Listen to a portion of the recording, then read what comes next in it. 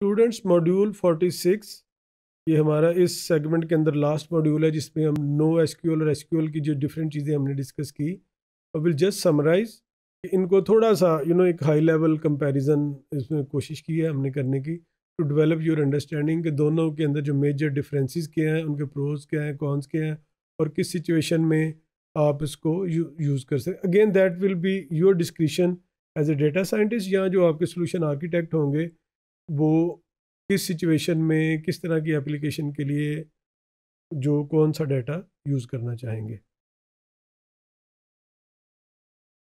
तो इसकी दोनों की जैसे हमने देखा एक हिस्ट्री है, एक अपनी अपनी यूजेज है, सर्टन केसेस ऐसे हैं हमारे पास जिसमें आपको नो एसक्यूएल की बिल्कुल ज़रूरत नहीं है। मतलब अगर हम पूरी, just imagine your data pipeline, उसमें अगर मैं, again I come back to you know example of the university students या पेशेंट डाटा उसके अंदर बहुत सारा डाटा हमारे पास ऐसा है, जिसके अंदर नो एस की बिल्कुल ज़रूरत नहीं है। फ़र्ज़ करें पेशेंट का नाम है, उसकी डेट ऑफ़ बर्थ है, उसके डेमोग्राफिक्स हैं फैमिली हिस्ट्री है, उसको तो नो एसक्यूएल की बिल्कुल कोई ज़रूरत नहीं है। लेकिन जैसे ही वहाँ पे आपके पास जो डेटा जो कि इक्विपमेंट वहाँ से आता है, फ़र्ज़ करें एम का डाटा या और कुछ चीज़ों का डाटा यू नो या आपकी जो रिपोर्ट्स हैं, उनका डाटा तो जो रिपोर्ट्स की आउटकम है यू you नो know, ये जो it's very interesting to understand कि अगर फ़र्ज़ करें मेरी ब्लड की रिपोर्ट है यूरिन की रिपोर्ट है इवन ब्लड प्रेशर की रिपोर्ट है that is easy to understand उसको तो आप नोमेरिकल में यू नो वी कैन हम सबने देखी हैं। वो उसकी नॉर्मल रेंज क्या है जो रिज़ल्ट है वो क्या है ये पॉजिटिव है नेगेटिव है you know things like this वो अलार्मिंग है नहीं है। लेकिन जब हम एम आर आई की सी टी स्कैन की, इस तरह की रिपोर्ट्स की बात करते हैं दे आर मोस्टली डिस्क्रिप्टिव उसके अंदर नंबर अगर आपको अपॉर्चुनिटी मिले तो प्लीज़ उसको देखिएगा कि उसके अंदर नंबर्स बहुत कम होते हैं। पेशेंट की हिस्ट्री वगैरह तो होती है, उसकी डिज़ीज़ की हिस्ट्री उसकी ट्रीटमेंट की history but there is no right और रॉन्ग और वो पूरे इमेजेस बेसिकली होते हैं जिनको वो स्कैन करके तो वो कुछ इंटरप्रटेशन डॉक्टर दे, ये जो आपके स्पेशली एक्सपर्ट होते हैं इन इन चीज़ों के, वो उसकी बेस पे फिर अपना कोई ना कोई कंक्लूजन ड्रॉ करते हैं।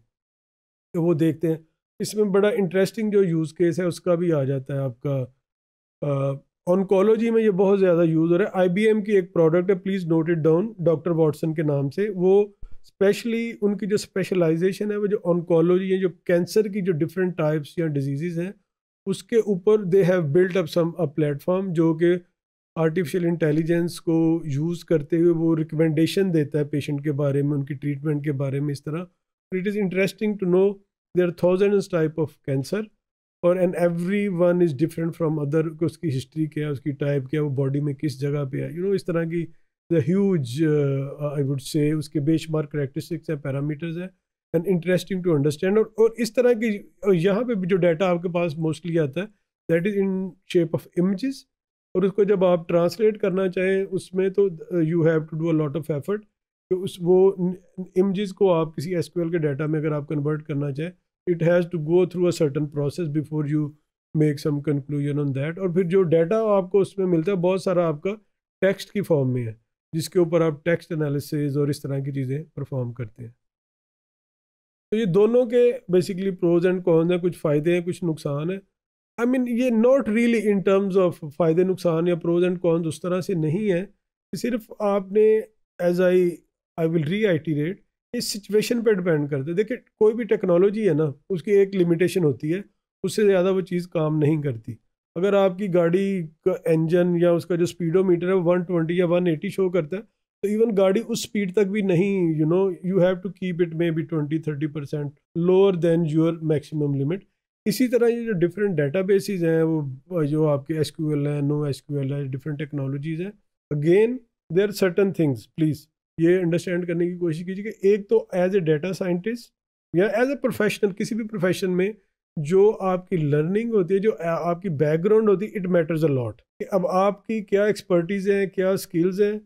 आपने पास्ट में किस तरह के प्रोजेक्ट्स किए थे? या आपकी फ़र्स्ट जॉब है। तो ऑल दैट विल डिपेंड फिर आप जिस ऑर्गेनाइजेशन में काम करते हैं उसके ऊपर भी डिपेंड करेगा कि वो ऑर्गेनाइजेशन किस तरह की है। क्या आप आ, आ, आ, उसमें सिविल एविएशन में काम कर रहे हैं? क्या आप ऑटोमोटिव में काम कर रहे हैं? आप रिक्रिएशन में काम कर रहे हैं? आप रिटेल में काम कर रहे हैं? आप ई कॉमर्स में कर रहे हैं? आप सोशल मीडिया में कर रहे हैं? तो everything you know will make a huge difference अगर आप किसी एक पर्टिकुलर इंडस्ट्री में काम करते हैं तो यू नीड देखिए ये पूरा जो है ना, जितने ये स्किल सेट हमने डिस्कस किए हैं, जितने टूल्स टेक्नोलॉजीज़ हमने डिस्कस की ये पूरा एक आपके पास ना, एक आप यूँ कहते हैं पूरी बास्केट अवेलेबल है, ये पूरे का पूरा एक वेयर हाउस है, ये एक बाग है। अब आपने उसमें से अपनी ज़रूरत के मुताबिक चीज़ें सेलेक्ट करनी है। अच्छा इंजेक्शन के लिए मैं पाइथन यूज़ करूँगा या मैं आर यूज़ करूँगा, या मैं डाटा एस के लिए डाटा औरकल यूज़ करूँगा या माई एस करूँगा। मैं जो नो एस के लिए कसेंड्रा यूज़ करूँगा या मैं मांगो डी यूज़ करूँगा यू नो तो ये बेसिकली ये सारी चीज़ें मैटर करती हैं और फिर अगेन वो जो एप्लीकेशन है, वो या जो आपका सोल्यूशन आर्किटेक्ट है, जिस एनवायरनमेंट में जाके आप काम करेंगे they will guide you rather they will derive you कि भी अच्छा अब आप हमारे पास है तो आपको ये काम करना पड़ेगा, ये हम आपको ट्रेनिंग देंगे, ये चीज़ें आपको पहले आती हैं, ये गैप है, ये आप चीज़ें सीखेंगे तो you will be able to start working with us तो कहना मैं ये चाह रहा हूँ कि इसके अंदर प्रोज एंड कॉन्स हैं। ये इसलिए हैं कि आप अंडरस्टैंड कर सकें जो आपके आर्किटेक्चर है आर्किटेक्ट हैं वो अंडरस्टैंड कर सकें। ये मेरी रिक्वायरमेंट है ये मेरी बिज़नेस प्रॉब्लम है ये मेरी डोमेन है। उसके लिए मुझे बेस्ट कौन कौन सी यू you नो know, जैसे कहते हैं आपके पूरे आर्सनल के अंदर कौन कौन सी चीज़ें आपके पास होती हैं। तो वो accordingly you can decide the pros and cons are basically to help you to develop your आप अपना प्लान कर सकें। ये नहीं कि इसका कोई नुकसान है या फ़ायदा, ये अगर आप if you make a mistake in choosing your tool कि जहाँ पे आपको पता है कि मेरे पास ये स्कीमा की लिमिटेशन है I have to stick to a particular schema या मुझे स्केलेबिलिटी की ज़रूरत है, या अच्छा एक और इंटरेस्टिंग चीज़ है, ये कि जैसे उसे कहते हैं single point of failure fault tolerance और इस तरह की चीज़ें तो ये चीज़ें अब, ये चीज़ें भी एक रोल प्ले करती हैं। अगर मेरे पास जहाँ पे critical data I have to make sure कि मैं उसको किस तरह से मैंने सेव करना है। आप कुछ और भी कॉन्सेप्ट हैं, जैसे होता है कि जैसे हमने सिंगल पॉइंट ऑफ़ फेलियर की बात की, इसी तरह हाई अवेलेबिलिटी एक होती है डिज़ास्टर रिकवरी होती है बिज़नेस कॉन्टीन्यूटी होती है। ये वो चीज़ें हैं जो कि बेसिकली आपका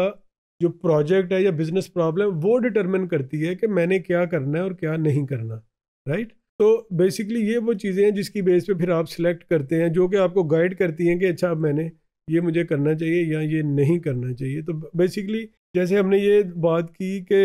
सोशल मीडिया के डाटा में अगर मेरा कोई maybe a very negligible fraction of my data is lost it doesn't really matter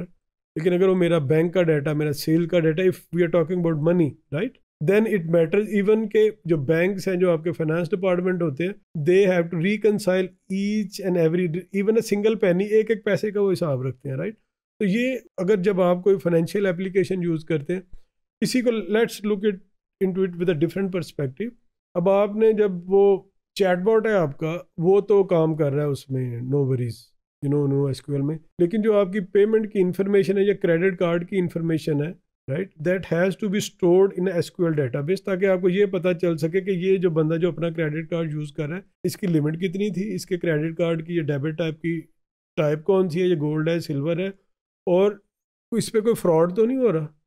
इस तरह की चीज़ें जब फिर आपने डिटर्मन करनी होती है तो फिर आप ये देखते हैं कि मैंने कौन सा डेटाबेस किस सिचुएशन में यूज़ करना so coming back to pros and cons और एडवांटेजेस और डिसएडवांटेजेस और comparison of SQL and no SQL तो